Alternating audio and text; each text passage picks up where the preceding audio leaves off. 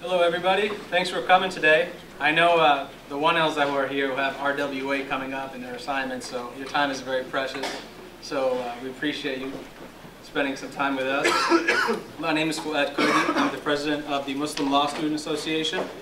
We're one of the student groups bringing this event together alongside the J. Reuben Clark Society, the Federalist Society, and the International and Comparative Law Society. So we have a lot of groups working together, so we're really proud to, to put this together. If you had noticed on some of the advertisements and the, uh, the pamphlets we had, or the brochures, whatever, um, we had another speaker who was supposed to be here. His name is Mr. John Khalil. He's uh, from New York. Unfortunately, as you all probably know, the tri-state area has been devastated, storm after storm, and his flight was actually canceled as a result of the uh, recent north, uh, nor'easter blowing through New Jersey and New York and Connecticut. He actually, I just learned he's in Staten Island, which was one of the areas hit the worst. So all our prayers are with him and the rest of the people suffering that area.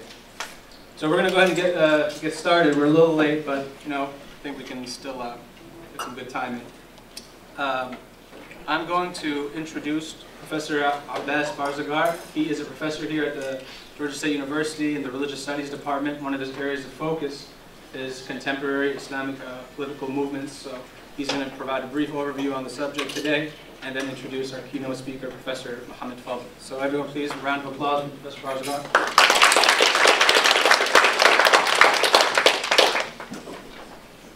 Thank you everyone for being here, and thank you to the student organizations. I believe there are a number of them that actually went through the effort of putting this thing together. So I appreciate the opportunity to be here.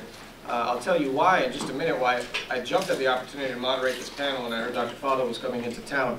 But before that, before I introduce our speaker, I'd like to give quickly a backdrop, just a few minutes or so, to how important the subject of Islamic law or Sharia ethics is today in international relations and domestic policy here in the United States and how that subject really has become a flashpoint of polemics and how difficult it is to actually get through the weeds of what that conversation is all about. For the majority of the 20th century, Muslim majority societies around the world wrestled in their encounter with colonial regimes, whether they were socialist oriented or you know democratically oriented or whatever brand of colonial sort of enterprise existed in their countries, Muslim majority elites, or elites from Muslim majority societies, wrestled with what the future of social organization and governance would be. As the Ottoman Caliphate broke down and sort of traditional Islamic governing structures began to break down, Muslim elites experimented in a number of different ways with Western you know, codes of law. Some of them tried to revive you know, what they believed was a brand of Islamic, um, you know, like a pure Islamic ideal. Uh, others tried to make a, a, sort of a mix between the two. But by and large, the subject of Sharia for most of the 20th century became nothing more than a symbol of, of polemics. On one side, Islamic revivalists and Muslim sort of activists used the Sharia as an ideal for the just society. You know, founders of the Islamic Brotherhood talked about the Sharia and Islam as a coherent, codified system that could work and, and kind of perfect replacement of all the other competing systems of ethics and law and governance that were out there. On the flip side, it became a symbol of how backward the Muslim world was. It struck fear in, in Western observers you know, in the Muslim world, and they exaggerated then certain elements of uh, what might be corporal punishment in Islam and for most of the 20th century, I would argue that Sharia remained a symbol and nothing more than kind of a polemical site for both Muslim activists who revered it in an unrealistic and ideal way, and for sort of Western detractors who couldn't imagine the idea of autonomous self-governance you know, by Muslims through Islamic institutions. However, the late 20th century, and especially now in the beginning of the 21st century, with so-called Arab Spring or the democratic sort of revolts and movements that are taking over the region and in other places around the Muslim world, what you see is a very complicated pragmatism emerge, where one can officially speak about a kind of Islamic republicanism arising. That is, something is not fully democratic and something is not fully theocratic. But every constitution now that you see written in Muslim majority societies has some kind of element or some kind of provision in there that its source of determining law and ethics and governance procedures will be informed by the Sharia. Again, what the Sharia actually is, is a complicated question. That is complicated because the Sharia has never been a stable thing. It has always been a sort of dynamic system of ethics that has been subject to a number of debates and, you know, and, and fluctuations. There are a few people that I would argue have the ability in the world today to actually get us through that complex history. Most of the stuff that is written on the Sharia that you could find through Amazon or through Google Books or on any bookshelf, even in our own libraries, talk about the Sharia and Islamic ethics still in that kind of polemical mode, either idealized or condemned. There are a few people who can understand the tradition of secular humanism well enough and the tradition of Islamic ethics well enough to be able to guide us through this conversation in this moment. One of those leaders, I believe, one of those intellectual leading figures that I, I believe that can walk us through that journey is Dr. Muhammad al-Fadel, uh, Muhammad Fadel, excuse me. He received his PhD from the University of Chicago, which one should know if you got your PhD in Islam from the University of Chicago, that's about as good as it can ever get, okay, in our field. All right, and he received his JD in the University of Virginia um, in 1999. Again, to have this dual training um, and this ability to work across disciplines is, um, is quite phenomenal. Today he teaches as an associate professor in the faculty of law at the Faculty of Law at the University of Toronto, where he's also a member of um, the what is it, the uh, Department of Near and Middle Eastern Civilizations. He has written most recently on subjects like Muslim reformist, female citizenship, and public accommodation of Islam in liberal democracy. Or another article that came out in 2011, Political Liberalism, Islamic Law, and Family Law Pluralism, the contrasting cases of New York and Ontario. I had the pleasure of meeting Mr. Fadel, um, I think it was maybe in 2006 or 2007, in a in a small workshop at Emory University. And from them, I've, since then, I've been an avid follower of his work, treating him as something of a mentor from afar, learning from him and making sure to frequent his panel discussions and, and his speeches wherever I might run into him. So again, thank you to the panelists and thank you to our speaker for making it here. It's an honor to be moderating this conversation. So if we could, please give a round of applause.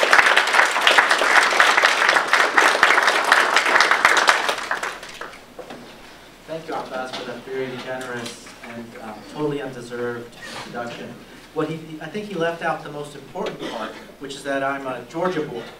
Uh, I guess in, in, many ways. I, I, I, moved here, although I was born in Egypt, we, my family moved to Georgia in 1975, and they still live, you know, down the road, uh, I-20 west to Georgia. So in many ways, I am home, and it's nice. It's always nice to come home. Um, my first time, though, at Georgia State, so thank you for bringing me here. Um, again, I want to express my thanks for the organizers uh, for inviting me here. And I also want to express my regret that um, the other part, the other invitee, uh, Mr. Khalid, could not make it because I was eagerly uh, awaiting uh, a chance to hear his comments and to discuss with him issues uh, in Egypt, particularly as viewed from a Coptic perspective. So, um, you know, let me say, obviously, uh, in case you didn't figure it out from my name, I am a Muslim, right? um, and I am, I was born in Egypt, but I've lived almost the entirety of my life in the United States and now Canada, um, with the exception of two years as you know, one year after college, and then one year as a graduate student doing research. And I think the, the question of the Copts is is a very sensitive one for modern Egyptians. It's something that they have, particularly Egyptian Muslims, and it's very hard uh, for them to talk about it, I think, in an objective way. Same, in, in the same perspective, I think it's also very difficult for Egyptian Copts to talk about their own concerns and their own aspirations and likewise their, their grievances.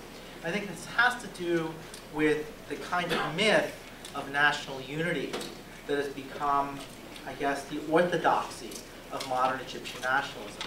So if we want to begin understanding the dynamics of Muslim-Coptic relations in Egypt today, we need to take a step back, if you, if you forgive me, maybe 150 years ago, and talk about the origins of modern Egyptian nationalism and, uh, and how this sort of myth of national unity uh, that transcends sectarian division came about. And basically, this is a story of modernization and the imperative of development and resisting colonialism. Um, Abbas had an occasion to mention, uh, somebody needs to put that out. There's the, the, the burners down there. Um, so in the beginning of the 19th century, there was a dramatic event that changed the course of Egyptian history, namely the Napoleonic invasion of Egypt. Right, first decade of the 19th century, uh, Napoleon comes, invades Egypt, and much to his surprise, and certainly the Egyptian surprise, he was able to defeat uh, the, the Egyptian rulers known as the Mamluks, who were vassals of the Ottomans, fairly easily, right? Uh, this was sort of the first confrontation between a modern national army. Remember, the French had gone through the revolution. Uh, there was a, they had developed a, the new army of France. It was completely different from the revolutionary armies where you had citizens fighting. They were much more motivated than the professional mercenaries that existed before. They made short work of the Egyptian army, um, and they were quickly able to uh, occupy Egypt. Now, it didn't turn out so well for the French sort of like when the United States went to Iraq, it was one thing to defeat the Iraqi army, it was another thing to defeat uh, irregular opposition from from the from the people, and so they were they were you know they were uh, subject to a guerrilla campaign for many years. While they were in Egypt, eventually the British cut off their supply lines and they had to go. It was sort of an ignominious, ended up being an ignominious defeat for Napoleon. But what it revealed was the weakness of Egyptian governing institutions, right? And that uh, Egypt, and by extension the rest of the Ottoman Empire, was extremely vulnerable to European invasion. So as a result, the new Ottoman governor that came and helped drive out uh, Napoleon, this Albanian fellow named Mehmet Ali, right? Uh, usually they call Muhammad Ali, but he was Albanian. He wasn't Egyptian, right? He came to Egypt and he instituted a far-reaching, very wide set of reforms, which was the goal of which was to create a modern state, a modern state that would be capable of resisting armies like Napoleon's. Right? And so the first object of reform was the army. Right? So he got rid of the kind of semi-quasi-mercenary forces that had confronted Napoleon in the 19th century and did something truly revolutionary. He instituted a draft. Now, why was this revolutionary? Because in the Ottoman Empire, up until that time, there had been a rigid separation between military classes and civilian classes, right? So there were, there were the people of the sword, and there were the people of crafts, and people of farming, et cetera, et cetera, and they should never mix. There was this idea of, of specialization, and that the polity would be corrupted if the soldiers got involved in commerce, or if commercial folks got involved in the army, right? And so the army tended to be this sort of professional class of mercenaries. Well, Muhammad Ali realized that you can't have a modern army like that. Uh, a modern army, as the French showed, depended on citizens, right? And so he instituted this draft. Now, Muhammad Ali was not some sort of deep philosoph philosophical thinker. He was certainly not an Enlightenment political philosopher. He was not interested in abstract notions of equality. What he was interested in was institutions that worked and were effective. And he discovered that the draft was extremely effective. Right? Now, this created all sorts of dynamics for changing the mode of governance. Because until he had instituted the draft, Egyptians, whether Muslims or non-Muslims, never wore arms. The only people who, who, who, who, bore arms in the Ottoman Empire were Turks. Okay? Now all of a sudden, the Arabs, right, the Arabs and the Copts began uh, uh, serving in the army. And this created a cascade of, of, of, consequences that led to the demand for much wider, broader demands, namely the Egyptianization of the state, et cetera, et cetera. It helped produce the idea of an Egyptian national community that was distinct from the Ottoman Empire as such. Okay? Because Muhammad Ali was the first sort of Ottoman governor, or at least the most successful, in implementing all these kinds of modernizing reforms. And the Ottomans sort of loved the Egyptian army. because they were much more efficient and effective than any other armies in the empire, and so they used to send them all over the place. Um, shockingly, a, a battalion of Egyptian troops were sent to Mexico. right? In, in, the middle of the 19th century, when the allies of the Egyptian government, the French, sort of intervened to impose a, a sort of emperor, uh, a, a, a, Habsburg emperor in Mexico, they sent Egyptians to support him. Right? So the Egyptians were sort of the crack troops of the Ottomans during the 19th century. They fought in the Crimean War. Uh, they fought Mexico. They, there was, and, and this created a lot of resentment right? Because Egyptians, while they were doing the fighting, they were excluded from the officer class, right? So this helped produce the kind of um, sort of nationalist sentiment that ended up, right, uh, creating the Egyptian nationalist movement. Now, as a byproduct of this, right, uh, the status of Copts in Egypt improved dramatically. Not just Copts, but Egyptian Muslims, right? Uh, because in the Ottoman Empire, generally, the Turks occupied uh, the highest strata of society, right? Um, and then the non-Turks, the Arabs, and then, like at that time, they called the Muslims Arabs and they called the Christians Copts. Right? Uh, so the, they were just considered civilians, taxpayers, nothing else. Right? Um, but once they became part of the army and part of the civil bureaucracy, and began then being admitted to the officer corps and then senior levels of the bureaucracy. The status of the Copts in particular, right, uh, improved dramatically as compared to, let's say, the 18th century, right? And so now there became this question of, well, what's the relationship of Egypt to the wider Islamic world?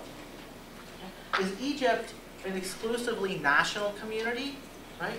Or is Egypt um, a national community that's also part of a wider Arab community and a wider Islamic community. Right? And so uh, one of the consequences then of modernization has been what does it mean to have an Egyptian national community, right? As while there's a populace of that community is made up of two very different religious communities, right? Um, now, I'm not a Copt, but I, you know, and so I hesitate to speak a little bit about the Coptic Church. But the Coptic Church, as far as I can tell, is, is very interesting and unique in many ways, especially among the churches in the Middle East. Because unlike, say, churches in Syria, Palestine, and Iran, the Egyptian church is in many ways a national church. Right? Coptic is the Greek word for Egypt. Um, and so there's a kind of incipient nationalism that is inherent in the idea of the Coptic Church itself, which you don't find in other Middle Eastern churches. Okay? So, um, whereas in places like Syria and Palestine, Arab nationalism, for example, might work as an ideology that could transcend religion, right? Because we're all Arabs, whether we're Christian Arabs or Muslim Arabs, we're still all Arabs. It doesn't work out the same way for the Copts because the Copts have a much stronger identity of being Egyptian. Okay? Um, in fact, Coptic continued to be a spoken language until the 16th or 17th century. So it's only fairly recently that Coptic ceased being spoken as a language in Egypt, right? Um, and there's still lots of Coptic words, obviously, in the vernacular Arabic. Um, lots of people uh, use the Coptic calendar, right? Because the Islamic calendar is a lunar calendar, so it's not very practical for an agricultural society like Egypt. So in the countryside, people continue to use the names of Coptic months uh, for you know their, their, their daily activities, right?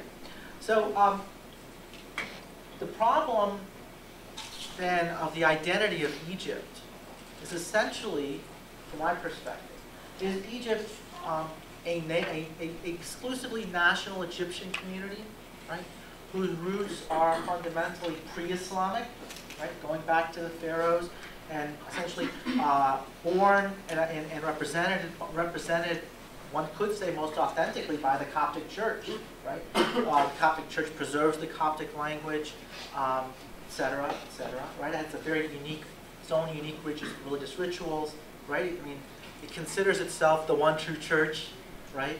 Um, or did something radically happen to Egypt when uh, the Arabs came in the 7th century? Now, of course, that's the view of the, gen- the, the, the general view of the Muslim communities, that Egypt radically changed, right? Unlike uh, the Romans and the Greeks, right? The Egyptian people abandoned their religion and abandoned their language and adopted the language and religion of the newcomers, something that didn't happen during the Greek occupation and the Roman occupation. If anybody here knows a little bit about Egyptian history, right, the last truly independent Egyptian dynasty, I think was, I don't know, 27th or 25th. The, the last dynasty, the 30th dynasty, was a Greek dynasty. Cleopatra was Greek, right? But yet, their influence on Egyptian civilization was pretty superficial. If you go to Egypt, you'll find lots of temples that the Ptolemies built, but they're all in the style of what we identify as Egyptian. Right? Egypt didn't pick up, Egyptians didn't begin speaking Greek. Same thing, after the Romans conquered Egypt and was incorporated in the Roman Empire. Right? Certainly the elites were part of the Hellenistic Latin culture, but Egyptian people themselves didn't adopt Latin or didn't become speakers of some sort of Romance language, right? They continued speaking Coptic. Okay? Um, and then, when the Roman Empire adopted Christianity, right, the Egyptians didn't follow the Greek church. They kept their own church, the Coptic church, right? Um, and so, in a really radical respect, a very important respect, Islam did represent something dramatically different in Egyptian history than either the Greeks or the Romans, because for the first time, it actually uh, had dramatic influence on the character of the country beyond simply the ruling elite. Now, this didn't happen overnight. Right? It took a very long time before Muslims and Arabic became the majority language and religion. I think even as far as the Crusades, Crusades going on in the 12th and 13th centuries, right? A majority of Egypt, particularly the countryside, would have been Christian. And in fact, I think a lot of historians would say it was the experience of the Crusades that put a that made um, the Muslim elites, who were again centered primarily in Cairo and Alexandria, uh, begin a campaign, a overt campaign of Islamizing the countryside, because they thought it was quite dangerous to be exposed to Christian invasion and have most of the population Christians. But in any case, um, Islam changed Egyptian culture in a way that was unprecedented, right? And so now we have this kind of difficult relationship when we're trying to build a national community on what the role of Islam should be, what the role of Christianity should be, what kind of political community we should be. And this, this comes out in many, many sectors. One, of course, is what's known as Article 2 of the Egyptian Constitution. Article 2 of the Egyptian Constitution declares that Arabic is the official language of the state, and Islam is the religion of the Arabic is the official language, Islam is the religion of the state, and the Sharia, Islamic law, is the principal source of legislation. Okay? Um, now, the Copts particularly object to the last one, but they also object to the other two as well, right? Uh, because in some ways, I mean, one could say it subordinates uh, the Coptic memory of what Egypt is, right? Because in, so, in, in, certain respects, they don't think Arabic is their own language, even though they speak it now, right? It's not, they think that Coptic is their language. And certainly Islam isn't their religion, it's the religion of the majority, but it's not their religion. So there's a, there's a kind of alienation, uh, I think, that's built into the Constitution that's been there since Egypt became independent. In 1923, the very first Egyptian constitution also declared Islam to be the state religion. I don't know if it said that Arabic was the official language.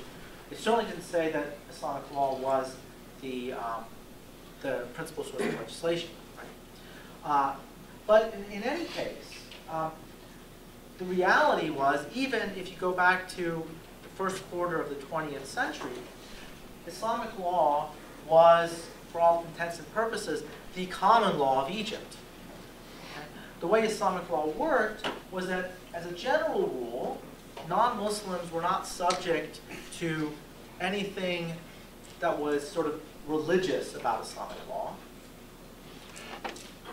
So Islamic law covers, begins with discussions about religious obligations, like how you pray, fasting, uh, et cetera, et cetera, et cetera, all these religious obligations, right? And then, after they conclude discussing those, they then get into what we would call sort of contracts, family law, civil obligations generally. So as a general rule, Muslim jurists held that non-Muslims were exempt from anything having to do with religion. But they were bound, to the same extent as Muslims, with respect to other areas of the law. The theory being that there's nothing religious about contract law, about torts, about criminal law, cetera, et cetera. So they could have no religious objections to following those rules. So as, as a result, right, um, the kinds of values, ideals, norms implicit in Islamic law have shaped Egyptian society generally, Muslims and Christians. Okay? Um, and so, as a practical matter, Egyptian law, even after independence, and even though uh, it did not state, the Constitution did not state that Islam was the principal source of legislation, um, the historical legacy of Islam in Egypt meant that Islamic law was going to have this sort of role only as a result of, uh, of inertia. Right? Now, Abbasid mentioned uh, Muslim rulers in the 19th century experimenting with various modes of Western governance. One important way that they did was by importing European law codes. Okay? So Egypt was one of the earliest Muslim states to do so. They adopted the Napoleonic Code, I think in 1881 or 1882. But it's very important to understand the motives of the Egyptian state for doing so. They did not do so as part of a secularizing uh, move, right? It was not part of a claim that now Egypt is going to be a secular state in the sense that religion is not a part of the governing constitution. Because they were also considering adopting a new Islamic code that had been in the process of being drafted. But, at least according to some of the leading scholars in this area, the reason why they opted for the Napoleonic Code was that it had the virtue of being available. It was there. And the British were coming. The British were coming literally. The British were coming. Um, they were about to invade and occupy Egypt, right? And the Egyptian government wanted to act in anticipation of loss of control by um, insulating the legal system and preserving some measure of legal independence, right? So they thought if they adopted the French civil code, that would remove one excuse for the British to interfere in the Egyptian legal system. Because if it had continued to be an Islamic system, the British would say, oh, this is uncivilized, we have a right to intervene, right? But if it's a French system, they will be much more reticent to do so. And in fact, that's what happened. Okay, but it was not a secularizing move. It was not like Ataturk. I don't know if anybody here knows who Ataturk is, but he was the, the founder of the Turkish Republic. Ataturk, at the end of World War I, made a very conscious, explicit decision to completely cut all legal and political and constitutional roots uh, uh, of the, of, of, of uh, the Ottoman Empire from the Turkish Republic. So he banned, essentially, Islam from the public sphere. That's not what happened in Egypt, or for that matter, the rest of the Arab provinces of the Ottoman Empire. Instead, what happened was um, the adoption of what I would call reformist Islam. So what we would do, you know, assuming I'm a 19th century ruling elite in Egypt, is that we are going to be reforming Islamic law for purposes of our modernization project. Now, why were they doing this? Again, because the problem in their mind with traditional Islamic law was that it was completely useless for modernizing the state. Okay? It was, in other words, it was a cause of relative backwardness and underdevelopment. So they viewed the law as a tool for social modernization. and they viewed codified law as a particularly effective tool of modernization because it would be clear and it would be easy to administer and they could hold judges accountable to it. Islamic law is very much like the common law. It's based on opinions of jurists, right? A lot of differences of opinion, okay? And lots of power in the individual judges. Well, that kind of judicial system is not very helpful to a state that's seeking to modernize and transform society. Okay? So they adopted codified law and they attempted to reform traditional Islamic law, not on a theory of secularization or not based out of um, liberal principles of equality, but rather what uh, perceived needs of modernization and development. Now, it just so happened that the needs of modernization and development often overlapped with liberal demands for equal treatment. Because it turns out that um, if you want to get people to do to be more efficient and more productive, uh, if you treat them equally and you give them a stake in it, they tend to do they, they tend to work harder and be more productive. Right? So hierarchical societies tend to be really quite bad at development. Okay, uh, regardless of, of any kind of liberal norms of equalities. So um, this is this is I think the, the dilemma that we have in a place like Egypt is that we have legal we have our and if you look at the foundational documents of the Egyptian Republic going back to 1920 well it wasn't a republic in 1923 it was a constitutional monarchy but if you look at the three constitutions 1923 1971 1980 and now this fourth one you have a conflict between what I would call rational secularity and uh, religious secularity. Now that might seem paradoxical to you, religious secularity, what does that mean? Well, what it means is a kind of commitment to secular rationality that is subject to certain limitations imposed by religion. Okay? So if there is a conflict between the demands of secular rationality and religious, or uh, religious, uh, excuse me, secular rationality and religious uh, rationality, the religious uh, view trumps or controls. Okay?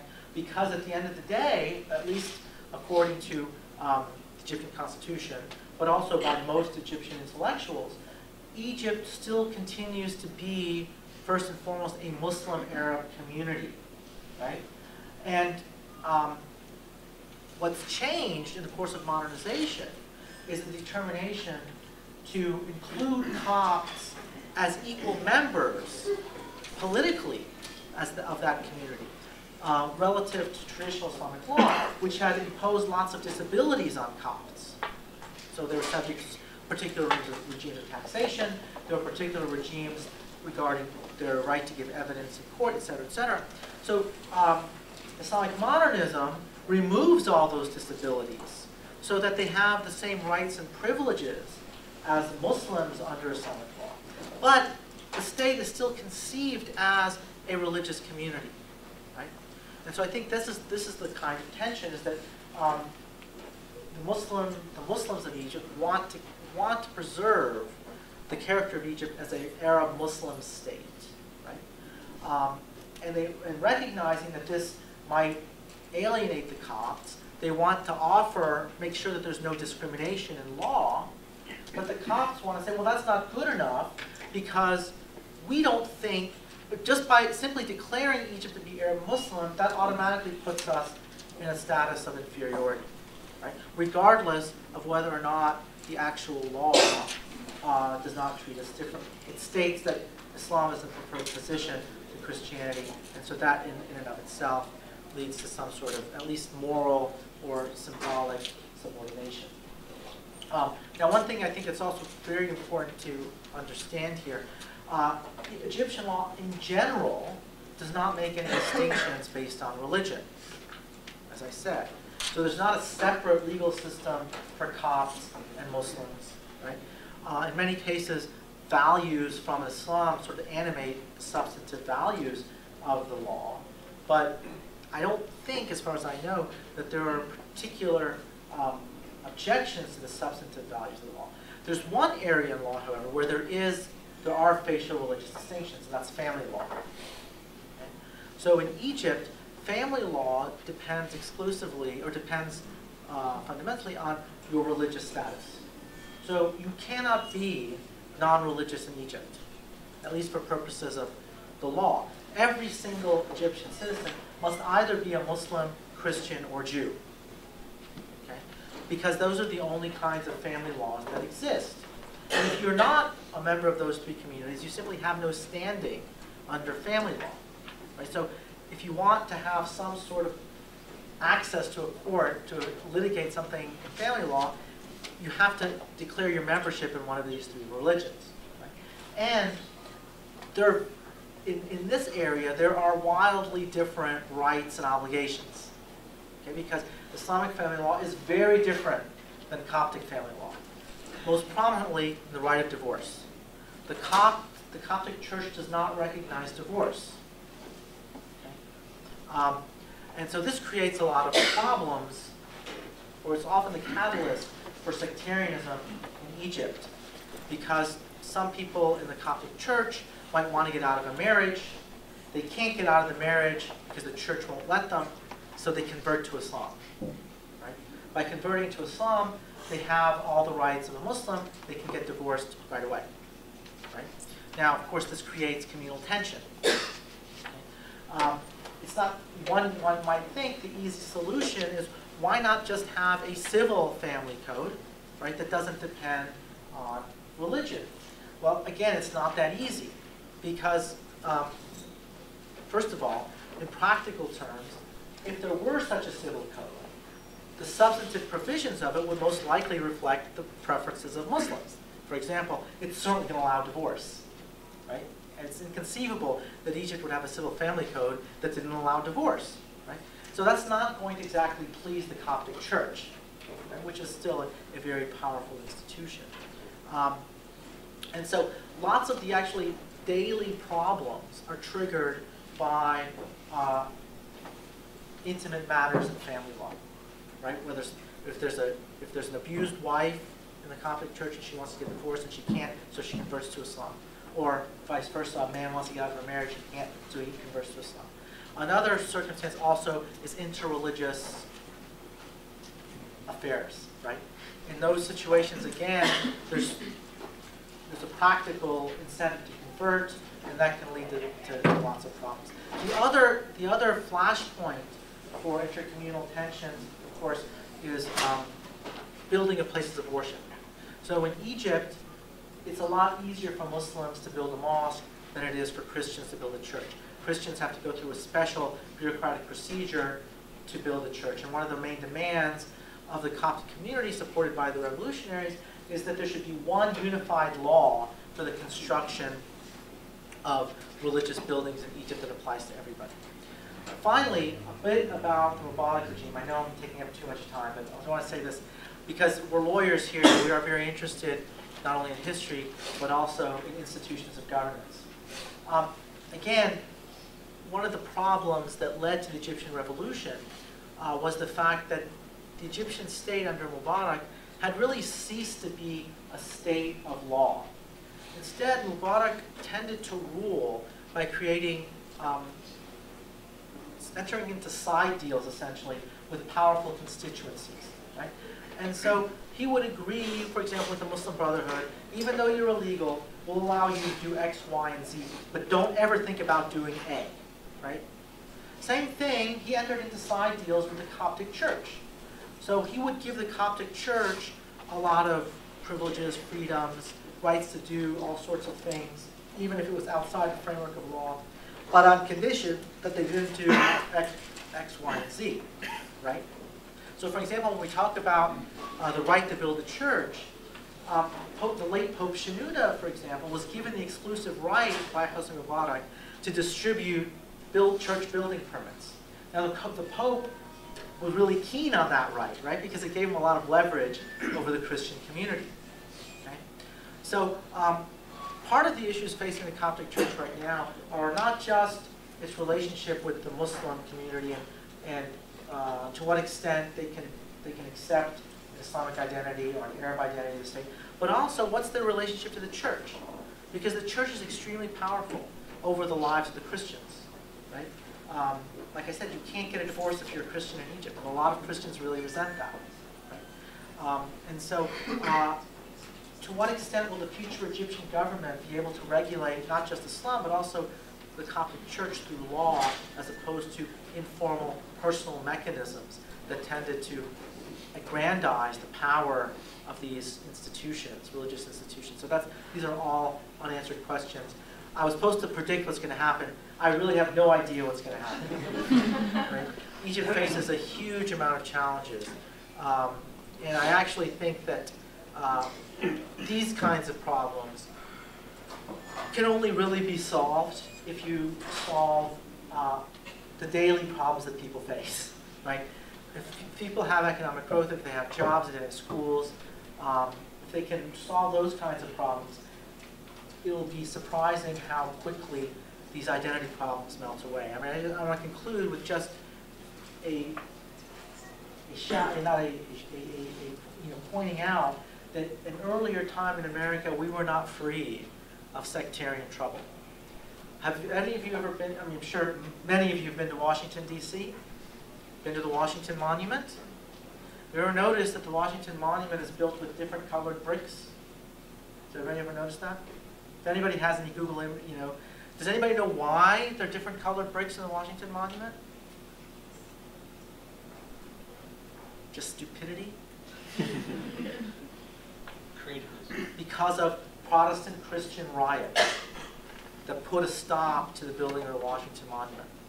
Right? And when they started again, the original color bricks weren't around. So it's a, it's a big mistake, I think, to look at where countries that have been living under democracy for 200 years or more are with respect to religious harmony, and then expect a country that's just starting to be at the same spot. So I'll conclude there. Thank you.